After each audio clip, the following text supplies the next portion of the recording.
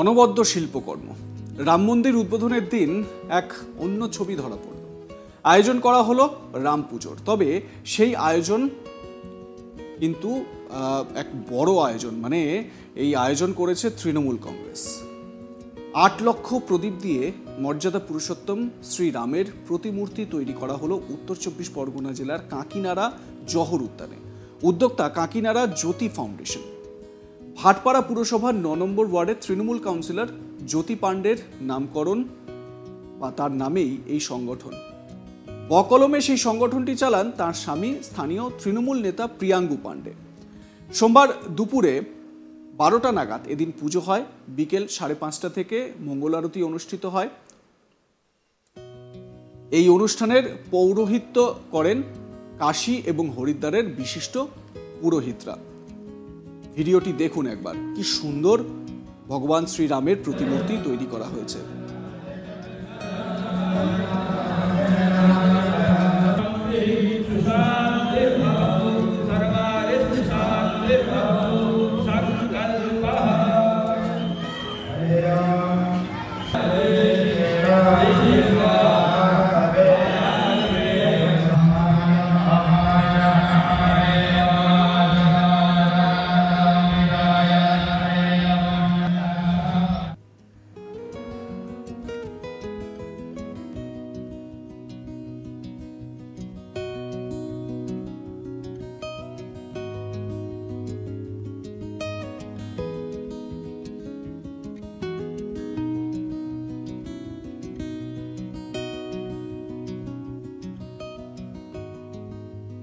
স্থানীয় তৃণমূল নেতা, তিনি কি বলছেন?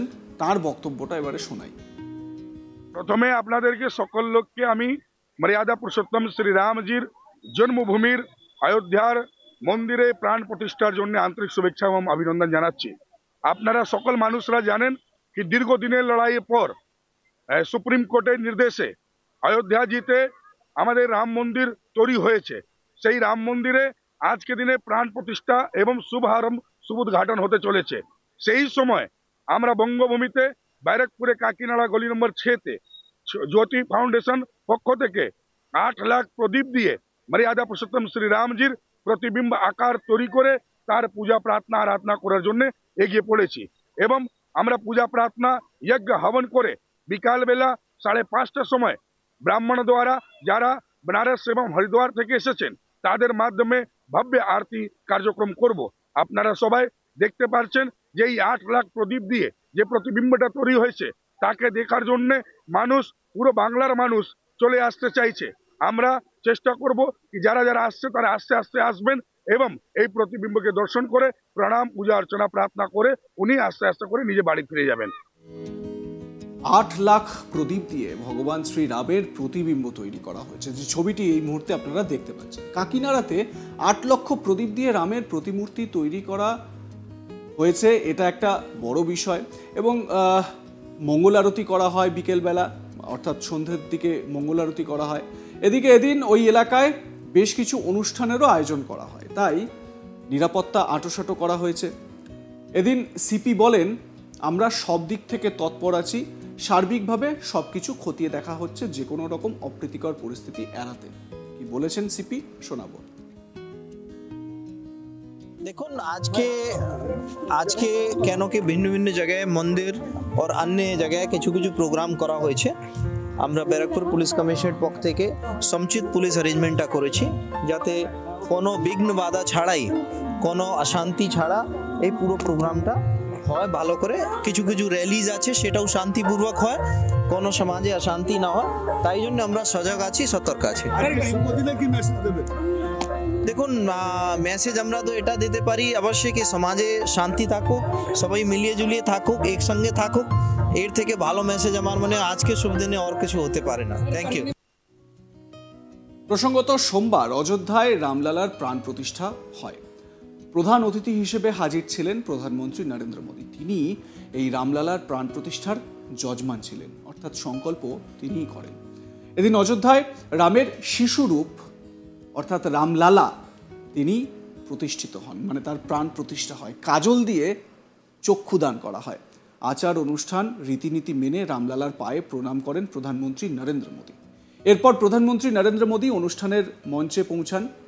এতদিন পর অবশেষে এগারো দিনের বিশেষ আচার অনুষ্ঠান শেষ করেন তিনি। বলে রাখি, এই এগারো দিন ধরে তিনি উপবাস পালন করেছিলেন এই সংকল্প করার জন্য বা যজমানি করার জন্য। নির্মোহী আখড়ার স্বামী গোবিন্দ গিরিজি মহারাজ প্রধানমন্ত্রী নরেন্দ্র মোদীকে বিভিন্ন আচার অনুষ্ঠানে সহায়তা করেন। এদিনের অনুষ্ঠানের আগে এগারো দিন ধরে সংযমের জীবনযাপন করেছিলেন প্রধানমন্ত্রী। গরুর পুজো করেন, মেঝেতে শুতেন এবং নারকেল জল পালন করতেন, ফলাহার করতেন। এর পাশাপাশি চারটি রাজ্যে রামায়ণ সম্পর্কিত সাতটি মন্দির দর্শন করেন ও পুজো দেন সেখানে। শোধন করেন নিজেকে। এদিন রামলালার মূর্তি, সোনা ও পান্নার গয়না দিয়ে সাজানো হয়। প্রাণ প্রতিষ্ঠার পর রামলালার চোখের উপর থেকে পট্টি খুলে ফেলা হয়। গত সপ্তাহেই রাম মন্দিরে নতুন একান্ন ইঞ্চির মূর্তিটি স্থাপন করা হয়েছিল। প্রধানমন্ত্রী নরেন্দ্র মোদী চুরাশি সেকেন্ডের লগ্নে প্রাণ প্রতিষ্ঠা করেন। অর্থাৎ যে সময়সূচি ছিল, সেই সময়সূচি অনুযায়ী প্রাণ প্রতিষ্ঠা করা হয়। তার আগে তিনি আরএসএস এর প্রধান মোহন ভাগবতের সঙ্গে বিভিন্ন আচার অনুষ্ঠানে অংশ নেন। অনুষ্ঠান শুরু হওয়ার কয়েক মিনিট আগেই প্রধানমন্ত্রী রাম মন্দিরে প্রবেশ করেন।